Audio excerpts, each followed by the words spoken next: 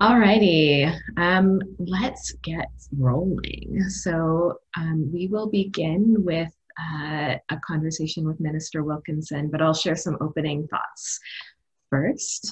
Um, so welcome everyone to Climate Action Network Canada's webinar celebrating the fifth anniversary of the signing of the Paris Agreement. My name is Catherine Abreu. I'm the Executive Director at Climate Action Network Canada. Uh, and I am joining you today from unceded Algonquin Anishinaabe territories in what is also known as Ottawa.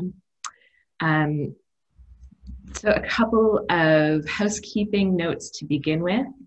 First, there is interpretation available. So if you head to, if you're on Zoom and you head to the bottom of your screen and click on that interpretation link, you should be able to choose what language you'd prefer to hear our conversation in today. Um, unfortunately, this option is only available on Zoom. So for those of you who are watching us uh, over Facebook Live, you will not be able to make use of the translation. Um, we're still sorting out how to make translation widely available in the online context. Uh, we are going to be collecting and asking questions using Slido. So you can see the link in the Zoom chat uh, to head over to Slido and ask and upvote for questions that you like.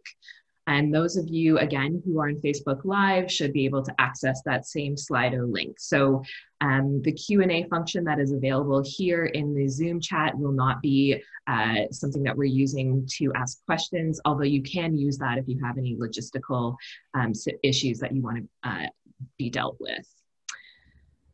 All right, so let's dive in. Um, we're celebrating the fifth anniversary of the Paris Agreement this Saturday, December 12th, and we're really doing this in the midst of unprecedented global disruption and hardship. Eh, but if there's anything that the COVID 19 pandemic has made clear from my perspective, it's that our health and well being is inextricable from the health and well being of the non human world. Five years later, we're asking ourselves, is the Paris Agreement working? And that's kind of a tricky question. According to the UN Environment Programme's 2019, 2020 emissions gap report, emissions grew by 2.6% last year in 2019, reaching a new record of 59.1 gigatons of uh, CO2 equivalent. And fully half of that 2.6% growth in emissions is attributable to massive wildfires that swept across many parts of the world in 2019. The emissions gap is yet as, as yet unaffected by COVID-19, while we will see global, global carbon dioxide emissions fall by about 7% this year. This will only contribute to significant emissions reductions by 2030 if countries pursue economic recovery plans that incorporate strong decarbonization objectives. However, there's some good news. A recent report from System IQ details the ways in which the Paris Agreement is fundamentally reshaping the global economy. Uh, in 2014, for instance, the IEA, the International Energy agency forecast the average solar prices would reach five cents per kilowatt hour by 2050. And it only took six years, not 36, for that solar energy to reach that price. And that's just one of so many examples of the accelerated transition that we are seeing toward clean energy in the global economy. However, the emissions of the richest 1% of the global population account for more than twice the combined share of the poorest 50%. And that means that rich countries like Canada have our work cut out for us when it comes to upping the ante on tackling, on contributing our fair share to the global effort to tackle climate change. So here we are, we've organized this webinar today with three objectives in mind. We want to reflect on the important importance of transformational climate action that contributes to true um, working in partnership with Indigenous peoples, and we want to talk about how things have changed since 2015. In particular, we want, want to talk with you, Minister, about how Canada plans to exceed its 2030 target and link short-term action with commitment to reach net zero emissions by 2050. And we also want to have a conversation about how the implementation of the United Nations Declaration on the Rights of Indigenous Peoples is critical to climate justice. Today, we're going to learn from the Canadian government, the Assembly of First Nations, and the UK High Commission on their plans to ramp up ambition in 2021 and how we can contribute to those plans, how we can work together building on what we've learned through the COVID 19 crisis about inequity and the need to address those inequities through climate action. Um, I'm so honored and, and privileged today to be joined by Minister Jonathan Wilkinson of Environment and Climate Change Canada, the UK High Commissioner to Canada, um, Susan d'Allegeershecque, my apologies, I always feel intimidated pronouncing that last name, and of course, National Chief Perry Bellegarde from the Assembly of First Nations. Um, Minister, let's begin with you uh, with a few opening comments. Super. Well, listen, first of all, thank you uh, very much for inviting me to be here today. Um, certainly very happy to be here at the, uh, the uh, just before, I guess, the, uh, the eve of the fifth anniversary of the Paris Agreement. It, it seems like a long time ago, I think, for many of us, um, but I certainly remember it well. The, uh, the Trudeau government had been elected just beforehand, and I had been appointed at that point parliamentary secretary to Minister McKenna, who was uh, somebody who played a, a, fairly important role in the context of the negotiation of the Paris Agreement and, and subsequent action that the, the, federal government has taken. I, I think at, at, that time it was pretty clear that the Canadian population as a whole was was really tired of inaction on climate change on the part of, of Canada. Um, I think there was a real sense both at home and abroad that, that Canada had withdrawn from playing a constructive role on the international stage. And so one of our goals at Paris was to essentially say Canada's back at the table um, in in trying to be a constructive player with respect to how we can, as an international community, come up with an architecture to help us to address the climate crisis. Um, and that agreement, uh, while certainly not perfect, and and as you said, um, the ambition needs to increase. Um, was a fundamental baseline for Canada and for others to really commence some of the the heavy lifting to actually address uh, fundamentally some of the, the challenges that we have domestically. Um, you will know that that it was really the catalyst for the development of the Pan Canadian Framework on climate change and clean growth. Um, which was, you know, a, a, big step forward for Canada. It was really the first real climate plan Canada's ever had, with over 50 different initiatives from phasing out of coal to methane regulations to pricing on pollution and investments in public transit. Um, and it, it identified, as you know, about 225 megatons in reductions. Not enough to get us to our 2030 target, but an enormous step forward.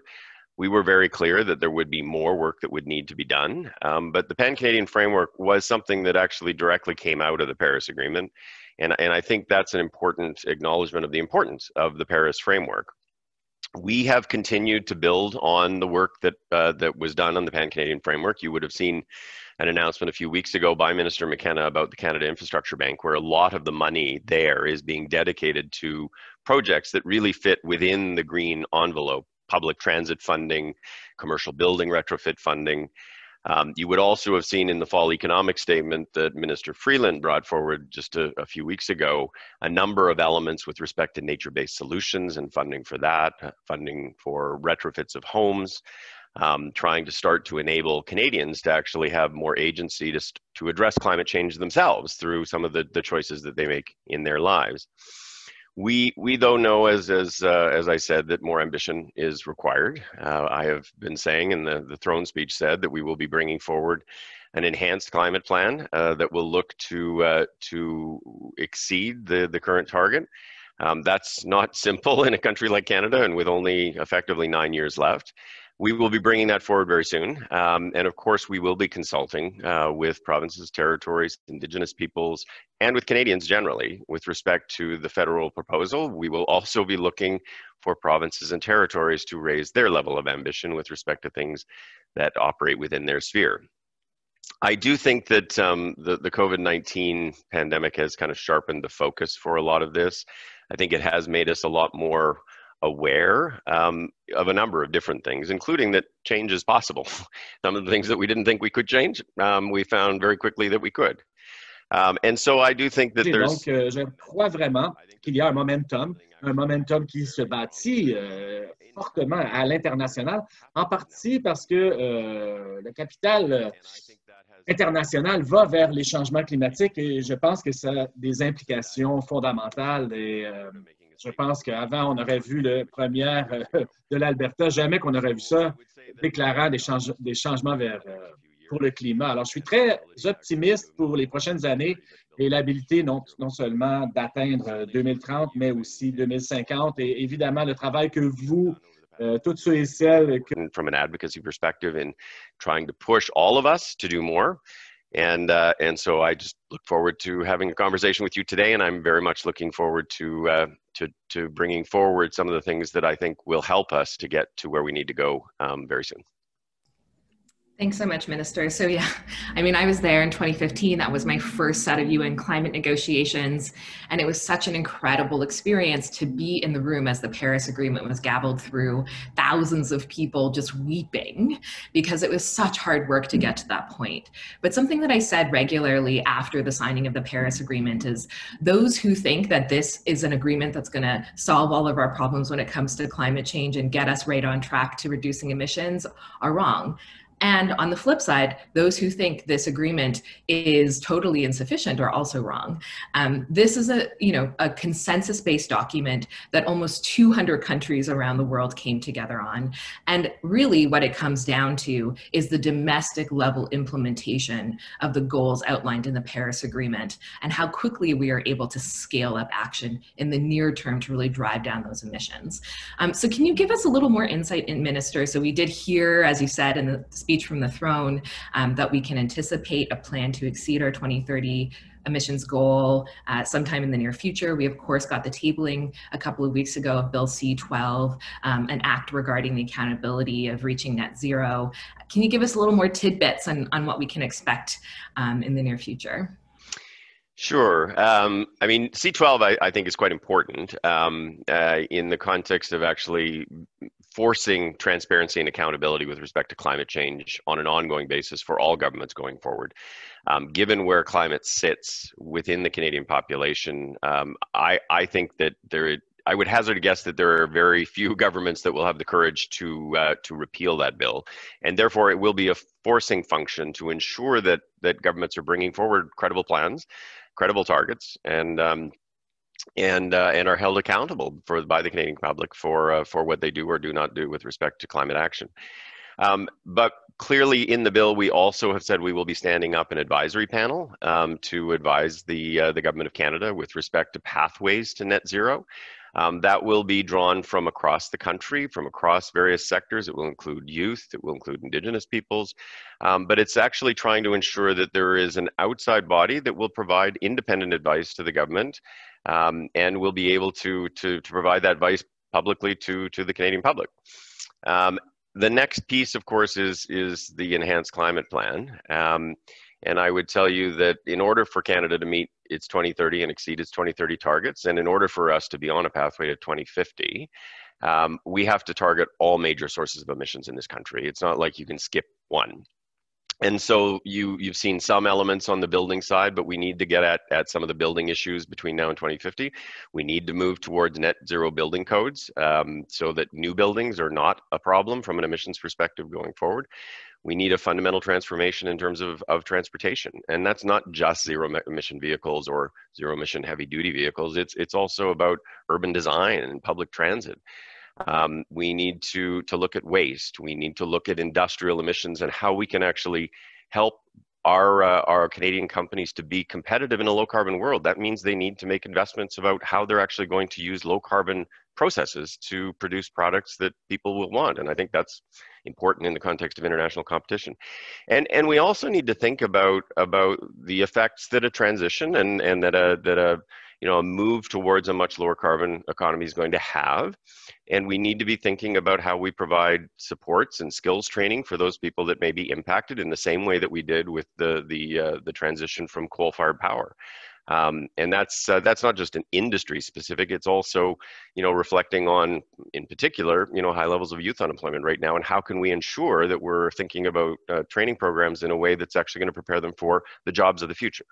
And so we intend to bring that forward. And of course, the other piece of this, which um, you will know very well it was very important to Paris and part of the bargain is international climate finance. I mean, helping develop developing countries to adapt um, to mitigate climate emissions, but typically they're not the big problem in terms of greenhouse gas emissions. It's also about ad adapting to some of the effects of, uh, of climate change that by and large the industrial world has caused. Yeah, thanks, Minister. A lot there, and absolutely the case that we at Climate Action Network Canada and many of our members consider Canada's fair share of the global effort, not just to be the work we do here at home to drive our emissions down, but the support that we provide abroad to help other countries do the same while they continue to adapt to the impacts of climate change. Um, so, looking forward to seeing that package of what we our new domestic plan is and what our new climate finance commitment is in the near future. Um, saw that call from Ban Ki moon yesterday for Canada to really step up to the plate on our climate finance package, which is um, a welcome call. Uh, so, yeah, again, Minister, great to hear you talk about the kind of just transition elements of it. We were very pleased to work with many of our members through the Just Transition Task Force for coal workers and communities. Um, I think that leads me to my last question for you, and then I'll ask a couple from our audience. Um, so, you know, I mentioned earlier that this report from System IQ is giving us a glimpse glimpse into the really dramatic changes we're seeing that's in the global economy being driven by the Paris Agreement. Um, in 2020, zero carbon solutions are competitive in sectors representing around 25% of global emissions. By 2030, we'll likely see that share grow to 70%. Uh, electric vehicles will likely beat internal combustion engines on sticker price before 2024. And if we set the right policies and invest wisely, the 2020s could see an increase of low carbon jobs by about 35 million. So, when we're talking about this new climate plan, to what extent can we think about it as a bit of an industrial strategy as well? So, you're talking about the growth of the low carbon economy, and that I think has seen some movement in the last few years in Canada. But we have also seen your government and other Canadian governments in the provinces and territories continue to invest in fossil fuels. Um, so, to what extent can we anticipate that part of your planning to exceed 2030 will be a, an industrial strategy that helps us grow? the clean economy that we know we need for prosperity and jobs in the future as we move away from those fossil fuel investments? So, a great question, um, and I'm glad you asked that question. Um, I think it absolutely has to be. Uh, my, my, view, uh, my, my, background is I, I, spent the past almost 20 years as, as an executive in the clean technology industry, um, working on technologies that focused on reducing carbon emissions and, and one company that focused on clean water. Um, and and I've always been of the view that this this has to be an economic strategy as much as an environmental strategy. Um, and the transition towards uh, addressing greenhouse gas emissions has to be one that actually takes account of the opportunities, not not just the threats. And so, you know, in Canada, we are blessed with many things that I think put us in a very advantageous position. If you think about you know things like um, electric vehicles. You need all kinds of minerals. Canada's blessed with many minerals. In order to produce batteries you need to have the ability to actually manufacture. We have lots of manufacturing capacity to make the uh, the, the, the, cars. Uh, you know we we have technology to be able to do the refueling infrastructure and and those kinds of things. Same thing with low carbon building products. I mean canada is there's no country that is better placed to actually be developing a supply chain with respect to low carbon, energy efficient building products. There's a whole range of things. And so I think what you will see when we release uh, the updated climate plan is a document that is focused very much on, on um, industrial policy that is really about building a low carbon economy at the same time that we are very focused on reducing greenhouse gas emissions. And, and uh, and look, Canada's not alone. I mean, Europe has been thinking about this. China has clearly been thinking about this. And our neighbors to the south are thinking about this very actively now with President elect Biden. At the end of the day, Canada, if it wants to be not only a leader on reducing emissions, but also wants to still be a prosperous country where young people have an opportunity to get a job, build a life, um, buy a home, uh, you know, um, we, we need to be thinking about the economic side of it because this ultimately is going to be a competition um, and, uh, and Canada can't afford to be left behind. Thanks, Minister. Okay, one more question for you, and then we'll uh, move on to High Commissioner. Um, so the overwhelming amount of questions in our Slido for you is really about these investments in fossil fuels. We did see a commitment from the Canadian government in the Pan-Canadian framework to phase out subsidies to fossil fuels, uh, and you continue to, to make those commitments through the G7 and G20. Um, how are we going to be seeing action on that? Where are we going to be seeing the ramp down of those investments in the things that are contributing to climate change as we scale up our investments in the solutions? Well, I mean, Canada made a commitment um, along with the, the the rest of the G20 to phase out what are called inefficient fossil fuel subsidies by 2025, and and the government's already eliminated eight of those and is in the process of working to eliminate the rest of them. We're actually doing a peer review with Argentina right now to actually look at each other and and provide uh, provide advice about what needs to be done. And and so the commitment continues to be there but i do think it's important in these kinds of conversations to make sure that we're clear about what fossil fuel subsidies mean. You talk to 10 people you're going to get 10 different definitions. Um, certainly things that incent the production um, and the exploration of, of fossil fuels absolutely that's a fossil fuel subsidy.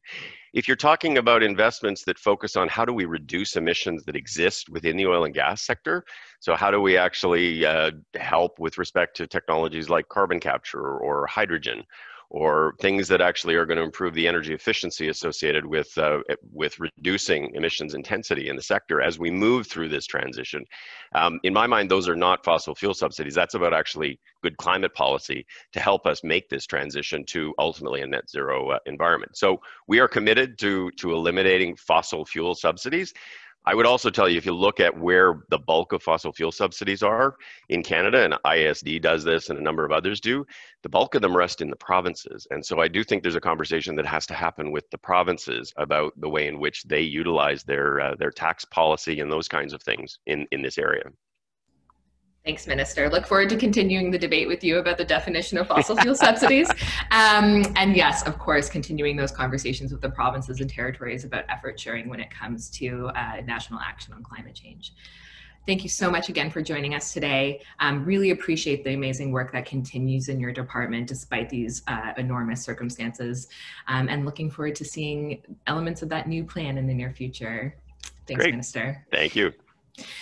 Um, all right, folks. So as we move to our next speaker, I just want to make a um, reminder that for those of you who are joining us on Zoom, uh, translation is available. You can go to the interpretation button at the bottom right of your screen and pick which language you prefer to hear our conversation in. Unfortunately, for you, those of you watching on Facebook Live, that option is not available. We are not taking questions using the Q&A function. That is solely for logistical issues. If you would like to put a question for one of our speakers in, you can do so on our Slido link, which Nathan is sharing the link to over the Zoom chat. Um, now, I am really so pleased to be joined by High Commissioner Susan d'Allegeershecque. Um, we heard from Minister Wilkinson, High Commissioner Susan d'Allegeershecque, that uh, the Paris Agreement has really helped to drive Canada's climate agenda over the last number of years in 2021, the UK both, has both the COP26 presidency as well as the presidency of the G7. And we know that the UK is making a big push for 2021 to be a turning point in climate ambition. Can you tell us a little bit more about that? And also tell us why Canada matters in all of this? Thank you. Thank you very much, uh, Catherine, for inviting me to be part of this with uh, with both Minister Wilkinson and uh, and National Chief Bellegarde.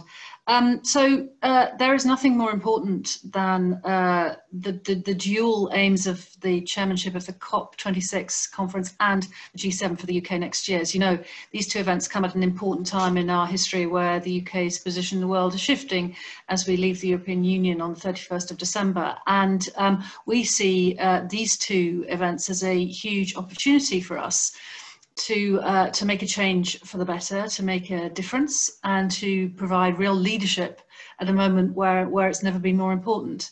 Um, and the minister referred to the COVID pandemic and the possible implications of that in the climate debate. And I think it's really, really important that in the midst of the crisis that is currently preoccupying us all, we do not lose lose sight of the bigger crisis uh, which is significantly more threatening to this planet and to every single one of us than the COVID pandemic. Um, I think the pandemic has shown that uh, when uh, the international community puts its mind to things and when it's really challenged, it can achieve incredible things. You know, getting vaccines developed uh, uh, and, and, and now administered in the UK uh, in a space of months is something that we would all have said was impossible. And the level of international cooperation that we have seen, um, both in terms of the science, but also in terms of the, the helping hand that we are extending to other countries in order to, uh, to allow them to benefit from these vaccines. I think we need to harness that, that same sense of urgency to the climate debate. And that's what the UK is going to be doing as it chairs these two important bodies next year.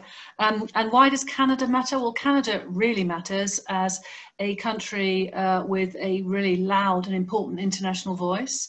Canada is seen as a force for, force for good. So when Canada does things and says things, people stand up and take notice. We've already done some fantastic work with, with Canada on the Powering Past Coal Alliance. Um, and that, that showed that when we worked together, we could really achieve a, a lot very quickly. And that, that particular alliance has, has, uh, has, has had huge benefits in terms of uh, emissions reductions. Um, and uh, I think also Canada um, uh, has, has a really important role to play in showing that you can be a, a, resource exploiting country and at the same time take these issues seriously and espouse the green agenda and do the right thing in terms of climate change. So um, uh, we uh, we don't really work more closely with any other country than, than with Canada, and that's fantastic. So it's great for me to be doing it, to be pursuing this agenda here. Um, and I, for myself and my team across the country, this will be our number one priority. You know, uh, we need to make sure as we build back our economies after the COVID pandemic, we don't just go hell for leather to achieve economic growth at any cost, we need to make sure we don't lose sight of the climate uh, goals that we set in Paris um, um, and that we now set even more ambitious goals uh, in Glasgow next year. Um, we have an extra year to prepare for that conference, which is a good thing, um, but it means that I think the level of ambition needs to be even higher. Um, on a practical level, my uh, the High Commission in in Ottawa uh, is doing some really uh, practical, immediate things um, which make a difference.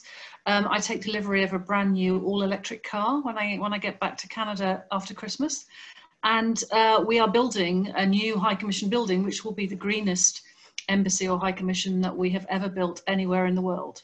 And, and we think it's important. The minister referred to buildings. We think it's really important to show that even in such extreme climates as the one we, I was going to say enjoy, but I wouldn't say I did enjoy it, that we have in Ottawa, um, you can build properly green buildings with, with, with proper respect for the environment and, uh, and a zero carbon future.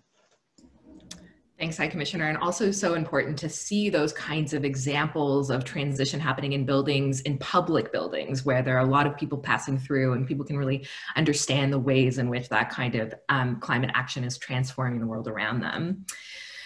So, speaking of the UK, we have seen in recent weeks the UK announced that it intends to increase its greenhouse gas emissions target to a reduction of 68% below um, 1990 levels by 2030. So a significant scaling up in the UK's contribution to the global effort. Um, of course, the UK has met its 2020 objectives as well. And those of us who've been working on climate accountability in Canada for years have really looked to the accountability work that was established in the UK as a leading example of what we might be able to learn from here in Canada, um, as well as other jurisdictions that have employed climate climate accountability legislation in, in recent years. Um, so can you tell us a little bit more about the kind of leadership that we're seeing coming from the UK um, and the ways in which the UK COP presidency and G7 presidency is hoping we will get that kind of scaling up of leadership from other countries? Yeah, um, so it's true. The the the package of measures which was announced uh, a couple of weeks ago, um, which has been called the the ten point plan for a green industrial revolution, is incredibly ambitious. Um, but I think more importantly, uh, if we look at where we are today, we've shown it can be done. And I think it's really important that we, we can point to success stories rather than just telling people all the time you need to do more. I think it's really important to showcase the things that have worked and to explain and share that best practice. So that's one of the things that um, I think is very important about the way we, have approached this. I think the other point, and, and the Minister referred to this too, um, there has been a, a, sense in the debate so far that if, if you're serious about um, challenging, combating climate change, it means you have to do, do so at the expense of economic growth. Um, and I think the, the, the, Prime Minister, our Prime Minister, has been very clear that that is not the case, that this is a plan which, uh, at the same time as, as setting really ambitious climate goals, will create new, new jobs and will, will be an impetus for real green industrial growth in the UK. And those two things are not mutually exclusive. And I think it's very important that we shift the debate away from, oh, if you want to be green, you can't have economic growth, or is that it will, it will cost people their jobs. So that's one thing. Um, I think the other thing is that um, uh, we need to uh, set the bar really high. I mean, you talked about the feeling in Paris of it being, you know, for some people a great disappointment, for some people a huge success. So it was probably about right, like all those things, you know, if you're somewhere in the middle, it's, it's probably about as good as it could get. But I think this time we need to make sure that people, uh, that the international community, that business, uh, that, that citizens understand that uh, we're, we, are we are not running out of time, we have run out of time. And that if we don't take these sorts of measures now, it's going to be too late. Um, and I think harnessing that, as I said earlier, the sort of energy and the commitment which has been unleashed by the COVID pandemic and bringing that sort of energy and passion to climate debate is really, really important. It's a huge task. If we want to think about a world of a, a net zero world in the future, it's a massive task. Um, and we're going to need the right policies and the right incentives in place. So part of, of, of, the, of the COP process will be defining and, and, and designing those sorts of policies. And as I say, sharing best practice reduction in emissions, so encouraging and working with countries across the globe to make sure that they come to the conference with really ambitious targets themselves and that they don't use COVID as an excuse to shy away from their, um, their responsibilities. Um, that we build uh, economic resilience and that any growth that we, that we encourage is the right sort of growth, that it's sustainable and resilient growth.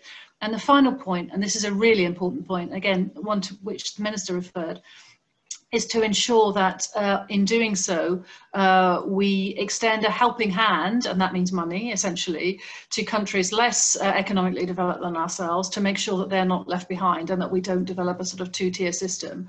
Um, and the final point is to ensure that we uh, build conservation into everything that we do so that um, as well as um, reducing emissions and, and building resilience, we make sure that we don't destroy any more of our planet. And I know that in, in Canada there is, a, there is a particular interest in that because of the fantastic bio, biodiversity that you have. And these things have, and I'm sure uh, Chief Bellegarde will talk about this, a particular impact on, our, on Indigenous communities where that biodiversity is so important to their continued uh, resilience and their their traditional ways of life.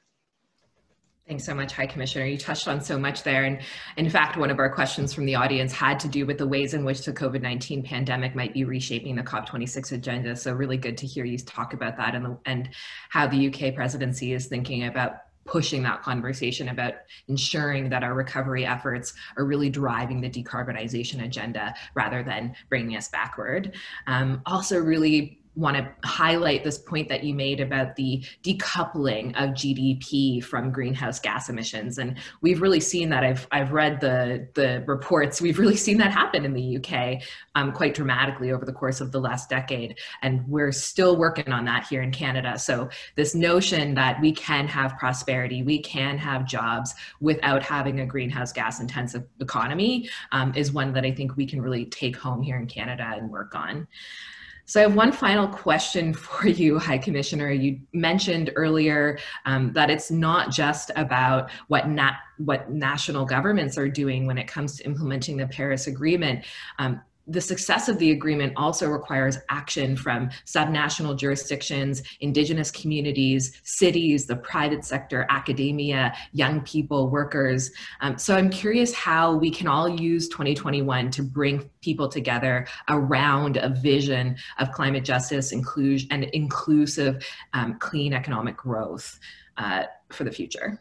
Yeah, so I think that will be a, a, a, really central feature of the Glasgow conference. And I think as great as Paris was, there was still a sense that um, the big, the main action was was happening amongst a group of people who tended to be politicians, and and and, and that there was not enough space uh, left for the voices of others, um, uh, particularly uh, civil society, but also Indigenous groups and young people, um, and business, because we won't be able to do this properly unless we have business on side with us.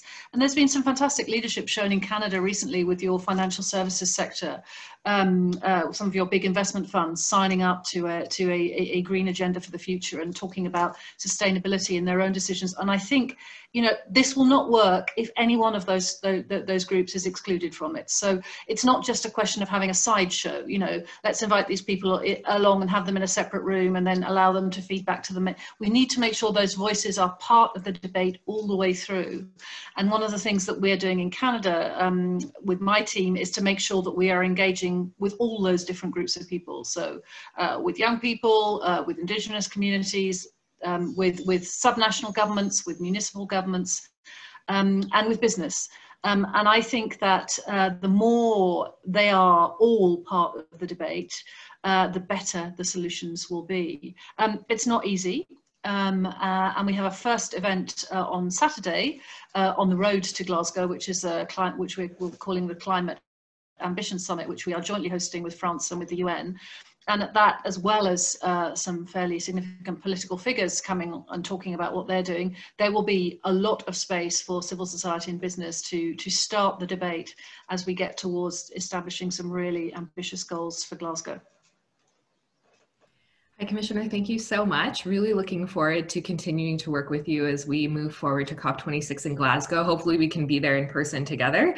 Um, I know that I know that you're joining us from your home in London, so thank you so much for taking the time uh, to call in all the way from London. And thank uh, you, it's been great. Yeah, happy you're missing the snow out here today. Uh, have a lovely day, High Commissioner, and thank you so much again. Good thank luck. You. Thank you.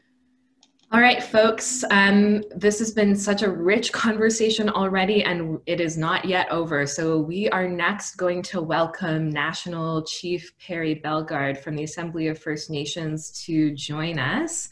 Um, also, a reminder to folks who are joining us over Zoom interpretation is available. You can click on the interpretation button to the bottom right of your screen and pick which language you prefer to hear our conversation in. If you have questions to ask, please click on the link to our Slido questions, um, and that's where you can enter your question and vote that the, your favorite questions up. Um, and thank you so much for being with us for this really fascinating conversation. Uh, so National Chief Bellegarde, thank you so much for being with us today. It is such an honor. Um, let's make sure that the National Chief is indeed with us. Ah, of course, yeah, he is. I'm here, Catherine. Can you hear? I can, yes. Welcome. Um, so, National Chief, you have been in your position for six years today. And hmm. that means that the Paris Agreement has been one of the major international treaties that has, um, you know, helped to define part of your uh, years of service. Mm-hmm. You have announced that you won't seek re-election for a new term. I would really love to hear your perspective on how the adoption of the Paris Agreement has influenced your six years, your six-year term, and in the context of um, what you're thinking of in the future as you move away from this role, what role you think reconciliation, climate justice have to play with each other, particularly as we know that Indigenous communities are at the forefront of the movement for climate action and are also often on the front lines of the impacts of climate change. Um, so yeah, just love to hear your initial thoughts. Uh, first of all, uh, uh, Catherine, thank you so much. Nista pikskred ni hewan absisi. Nista nenaskamo. Nista kenaskom tino al kahkio. Nista elgonquins chinishna be kenaskom tino al. Notes me kiskau no tainans manato kenaskom tin. Hi, hi to uh, the British High Commissioner and to the Minister. No chogonak naskum tino al just a little bit in Cree, uh, saying I'm very happy to be with you all. I'm acknowledging the Algonquin peoples because I'm on their ancestral lands here and now this place called Odawa. Uh, that's where I'm, I'm, speaking from. So acknowledging them and giving them thanks and uh, acknowledging the former speakers as well, the British High Commissioner, Susan Jane, and Minister uh, Wilkinson, and uh, as well to give thanks to the Creator for this beautiful day. Um, yeah, it's been six years and uh, I've got six months left to go in my, my term. Uh, I was there in Paris when the, uh, the, the Paris Agreement was was concluded, in fact, I was on the floor with all the prime ministers and presidents of the world when it was gavelled. And I was there with uh, Prime Minister Trudeau and Minister Catherine McKenna and um, Elizabeth May from the Green Party, premiers, Premier uh, uh, from Ontario, Kathleen Wynne at that time, and, and a host of others. But there's five of us on the floor. And um, it was a very powerful moment. And, uh, and I was part of that. And uh, it was important because we were trying to educate the world about the necessity to respect the land and the waters. Um, like this crisis we're in, this COVID nineteen pandemic, is really is, is huge, but there is a bigger crisis that that's still looming that we have to prepare for and deal with and get our heads around it. And as First Nations people, we've always said we're we, we we're stewards of the land and the waters. The Creator gave us that and, and embracing our worldview because we're the as First Nations people, Indigenous peoples throughout the world, we're first to feel the effects of climate change. Uh, when the when the sea ice starts melting, you know, when the permafrost starts melting, um, when the forests start burning up, our elders predicted these great big floods. Our elders predicted these big fires, these big winds, and how there's a transition and change, and how the world needs to start accepting our worldview, how that we're part of this environment and, and uh, in our ceremonies and our prayers, we acknowledge our worldview. I always talk about our worldview. And I want to begin with that because that's so important. If we can get our worldview as First Nations people adopted at the local level, regional level, national level, international level, I think we can start moving on uh, on policy and legislation that respects that. So we give thanks to the Creator every day, but we're part of this family. We acknowledge the gifts from Mother Earth every day, Mother Earth. Father Sky, Grandmother Moon, Grandfather Sun, our relatives, our relatives, the four leggeds, the ones that fly, the ones that swim, the ones that crawl, the male plants, the female plants. We acknowledge and give thanks to all of those. The ones that sit in the east, south, west, north, those spirit beings there. And those four grandmother spirits, so important that look after the waters, the rainwater, the fresh water, the salt water, and the power of women when life comes what happens? Water breaks. There's four grandmothers. So from a first nations perspective we're the two-legged and we say we don't care if we're black red yellow brown we're, we're the two-legged and we have to fit into that family that setting that how what i just described. And and those that worldview if we can incorporate that locally regionally nationally internationally embrace that we've got to get better policy, better legislation in line with that worldview, I think we can make a difference. This this uh, climate change piece is huge, and, and our dependency on fossil fuels is huge. Uh, we need to transition to to gre- greener, cleaner technologies sooner than later, and uh, that's what we need to do. So we need governments to work with Indigenous peoples to ensure our voices are heard at the highest levels, provincially, federally, internationally, to make sure we embrace that worldview and that we can have an impact on these policies and legislations going forward. So this Paris Accord was very important. You know, all the goals that were there, but we need nation states to work with indigenous peoples to develop the national action plans and strategies going forward real concrete national action plans. And yes, everything from a carbon tax, investments in the clean green technologies, you know, watching the, the, the depends on how you define fossil fuel subsidies. That'll be an ongoing issue. But we need to look at all those things because uh, there is only one, one uh, mother we have, Mother Earth. There is no second one. We have to leave something for future generations. I also want to say now I'll look to my notes now. I have four pages to read. Great. No, I'm just kidding, Kathy. Um, we have 17 minutes, so. Okay. No, the only other one, the provinces have an important role in supporting Canada's commitment, including funding Indigenous-centered climate initiatives that will help Canada achieve its goal of reducing greenhouse gas emissions by 30% of the 2005 levels by 2030. So provinces have a big role to play. We need to sit down and work with them. Respecting Indigenous rights is a pathway to finding climate solutions. And of course, this includes Canada's commitments to fully implementing the UN Declaration on the Rights of Indigenous Peoples. That is huge. The global pandemic is an opportunity to push forward an ambitious clean energy agenda, prioritizing green investments. And in a lot of these areas, First Nations are already involved. And I think of the T'Sou-ke First Nation, solar, totally solar. I think of Henvey Inlet, all in wind, wind power. I think of um, the, the First Nation up north, um, Gull Bay, Chief Wilfred King, microgrids. They're saving 300,000 uh, liters of diesel fuel not being burned by being on a microgrid. So things are happening in First Nations country and territory. We just need to be involved at the highest levels in order to make sure we get proper plans, proper legislation policies going forward. So I'll leave it at that. And I know there's some questions we want to get into. Yeah, for sure. Thanks so much, National Chief. I think really so, so many important um, uh, points that you've raised. I mean, first, like so moved by the description that you offer in the role that we as two-leggeds have to play in caring for our home and the other creatures that we share it with.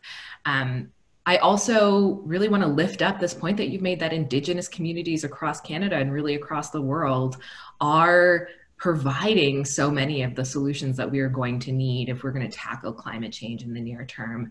Um, I know a recent report from Indigenous Clean Energy tells us that nearly 20% of renewable energy projects in Canada are owned by Indigenous communities. And I really see that as such a critical component of Indigenous communities who um, have been subject to the resource and cultural extraction of colonialism um, can be, you know, creating means of autonomy and uh, and prosperity right there in their communities, as well as creating job opportunities in the growing clean economy for members of their community. So um, that is an incredible story that I know is happening all around the world that I don't think we get to hear very often. But there is this really critical question here of how Indigenous communities are a part of the planning process. So in 2016, the Canadian government tabled the Pan-Canadian Framework on Climate Change and Clean Growth.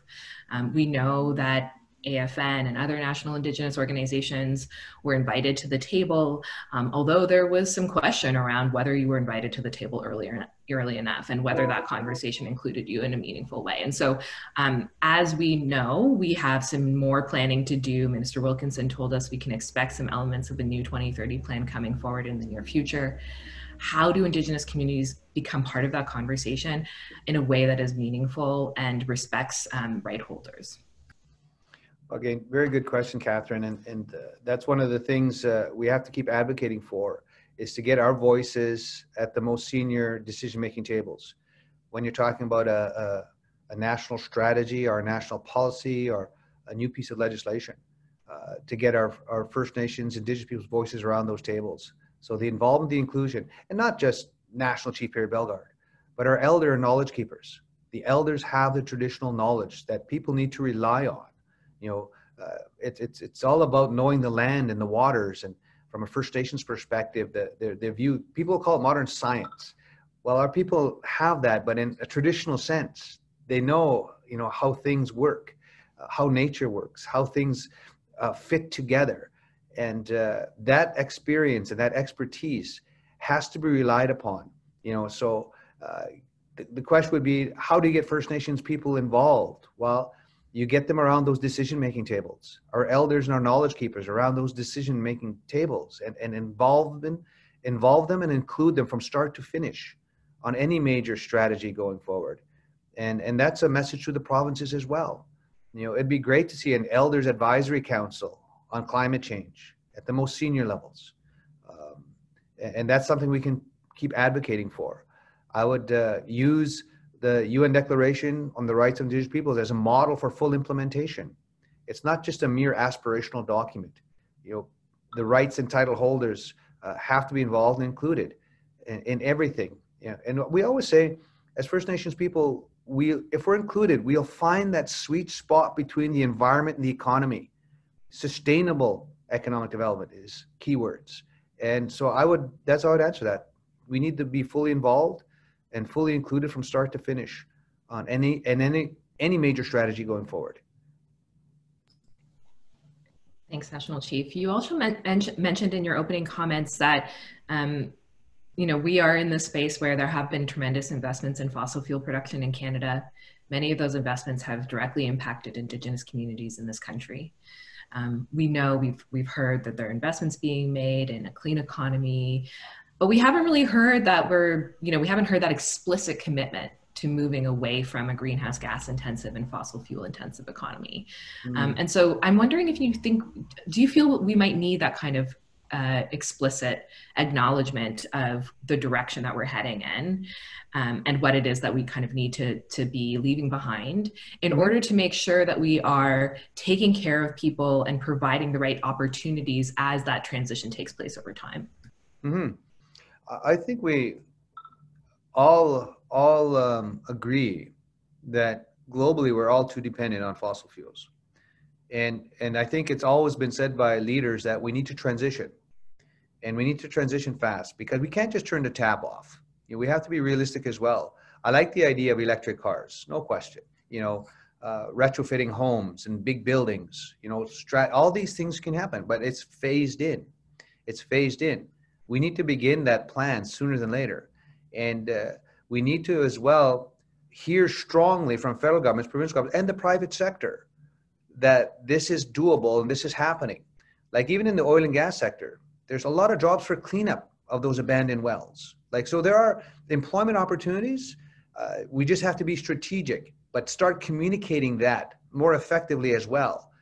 Because we hear like it's not one or the other, you know, it's transitioning because we need to make sure that there's a plan in place sooner than later. So there's something left for our children and grandchildren and those generations yet unborn.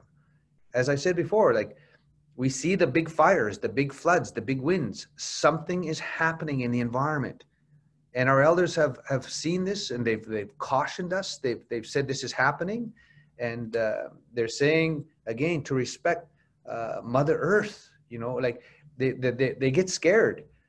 They use this analogy how, how our lakes and waters and streams give life to Mother Earth, just like our veins in our bodies give, give life to our bodies. If they plug up, Mother Earth dies, and the same with our bodies. So there's so many analogies uh, that can happen. So we've got to transition sooner than later, but as well be realistic. You know, because a lot of First Nations are into oil and gas, you know, developments too. So as First Nations, we have 634 across Canada.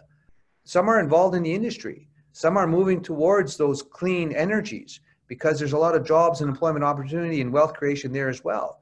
So the message will be involvement, inclusion, transition transition sooner as and show the plan and communicate that because that will provide some hope that things aren't all doom and gloom we have to provide some light at the end of the tunnel here Thanks, National Chief. I particularly appreciate your point around planning, how necessary it is that we actually put a plan in place, execute it, make sure that we are taking care of people and communities as that plan is laid out.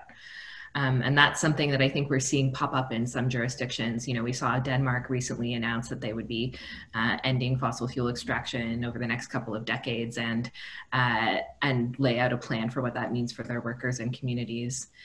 Um, so I have a couple more questions for you. Um, first, I'm curious about uh, the um, role that you think Indigenous peoples will play as we head into COP26. So we saw the Assembly of First Nations play a real leadership role in landing the Indigenous Peoples and Local Communities Knowledge Platform, which is a platform that, that seeks to bring in the traditional knowledge that you spoke about earlier into the UN um, climate change decision-making framework. Uh, and so given that, I'm curious what you're expecting to see from COP26 and the ways in which you're expecting Indigenous communities to engage. Um, and I see that that High Commissioner d'Allegeershecque is still with us. So if you would like to pop in after um, National Chief uh, answers that and, and give a little bit perspe of perspective on how the COP26 presidency is thinking about incorporating that platform, I'd love to hear it. Um, but National Chief first. Well, I, I, think as we prepare for any um, uh, international movement, because again, this is not only a, a domestic nation state issue, climate change. Climate change knows no borders. You know, it's it's almost like a lot of people are saying it's climate climate catastrophe, and it's throughout the world. So we need all heads of state, all nations, to collaborate together and work together, and and and, and make sure from a First Nations perspective, Indigenous peoples are involved. So for COP26, I would hope that there's full involvement, the inclusion at the most senior levels. Uh, I would love to see an elders knowledge table from indigenous peoples from throughout the world and indigenous knowledge keepers of the Maori from, from New Zealand, you know, indigenous peoples uh, from Central, uh, South America, you know, like from North America. Like if there was an international indigenous advisory council would be huge, you know, and to have that message, uh, okay, this is in the public sector. I'll call the government's heads of state public sector. But as well, we need the, the private sector as well, you know, to get this and, and, and have involvement in the inclusion because uh, their business planning models now have to, to look at the risks involved with continuing, uh, whether it's in the fossil fuel, fuel, fuel movement or the oil and gas sector or transitioning to the clean energy, solar, wind, geothermal, uh, the business planning model. So the, the private sector has a huge role to play as well, in addition to nation states. And, and I think uh, the, the business planning model, and, I, and I've used this line before, and others have used it before, it's not all about profit now. So it's the three P's they got to incorporate planet, people, profit. You know, it's, it's you got to incorporate those three P's into your business planning model because this is too huge to put to the side anymore. And so, from the public sector, the private sector, getting ready for COP26, I would hope and envision that there's full involvement in the inclusion of Indigenous knowledge keepers and Elders Council, uh, leaders from throughout the world. And I would hope there's a strong commitment from the nation states for the full implementation of the UN Declaration of the Rights of Indigenous Peoples. It's one thing to adopt this throughout the United Nations, that declaration, but what are nation states doing to give it life within their nation state? And I'll lift up Canada. They've introduced Bill C-15, and I'm still working towards those words, royal assent on that. But what are the other nation states doing? So that would those are my thoughts on that. Absolutely. All right, one more question for you, National Chief. So um, I, all, I first just want to acknowledge that last year we saw um, the declaration of a First Nations climate emergency, and that I think was a really um, strong and profound call to action from First Nations and Indigenous communities in Canada to address the climate emergency, and you know lines up with calls that we've seen from medical professionals declaring climate a health emergency in Canada and really calling on the governments to step up to the plate with ambition we have some, some announcements recently. So in our uh, in our Slido questions, someone's asking if you can say a little bit more about the net zero bill and how Indigenous people should be involved in the implementation of that legislation. Well, again, with the with the net zero bill, like I've always talked about uh, the necessity with, with any new policy framework. Are we involved and are we included? With any new piece of legislation, how are we involved? How are we included? How is the Indigenous rights lens used? Any new piece of legislation, policy, or, or, or uh, piece of legislation going forward, use it through an Indigenous rights holders lens. You know, use it. Put a put the UN Declaration of the Rights of Indigenous Peoples lens on it, and the impacts on the rights and title holders. And that legislation, even if you have a piece of legislation, um, the action plan to reach that, there's got to be very clear specific goals. And as indigenous peoples we want to see that part of it that action. We want to see that and what happens if you don't meet it? What are the reper- repercussions? Like there's so many questions with that piece. It's being talked about and, and you do need legislation. But again make sure that it has that lens from a first nations perspective utilized on it so that the rights and title holders rights are not infringed upon and, and make sure that it's u- utilized in such a way that we're involved and included. Uh, because again, this is too important uh, to be left to the side. So, in terms of that piece of legislation, uh, the involvement, the inclusion, you, I sound like a broken record, but that's so necessary, right, to get a good piece of legislation going forward. then the national action plan to meet those targets and goals uh, and, and the proper investments as well, because you need investments in the right sectors, in the right areas in order to bring about that change. So there's some quick comments on that. Thanks, National Chief. Yeah, we need those investments, we need that plan, and we need that accountability for sure. Um, those are all the questions that we have for you. Again, thank you so, so much for joining us and taking the time. Um, this has been an incredible conversation. Really want to send my thanks to you, National Chief Bellegarde, to High Commissioner d'Allegeershecque, and to Minister Wilkinson for joining us for this conversation today. Um, we know that Canada can and must do more when it comes to uh, driving our emissions down and making sure that we're investing in our communities here at home and communities abroad as we work to tackle climate change, transition to a clean economy, and adapt to the devastating impacts that we are already facing from climate um, from climate changes. Uh, thank you so much to everyone. I want to send a special shout out to my team at Climate Action Network Canada for making this event happen, in particular to Eddie Perez, um, who was the one who was able to wrangle the speakers.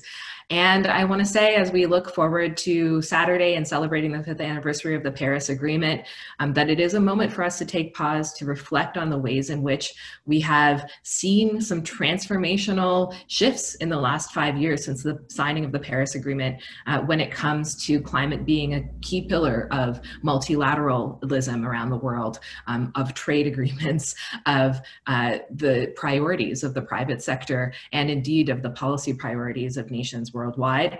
Um, but of course, there is a tremendous amount of work left to be done, and Canada has a key role to play. You've heard it. à jouer. Vous l'avez entendu sur chaque personne de notre panel que l'on doit se présenter. C'est important pour nous hein, qu'on appelle en us who around the world are looking for that international leadership. So I'm looking forward to continuing to work with all of you as we see some new levels of ambition come from our country. Bye, everyone.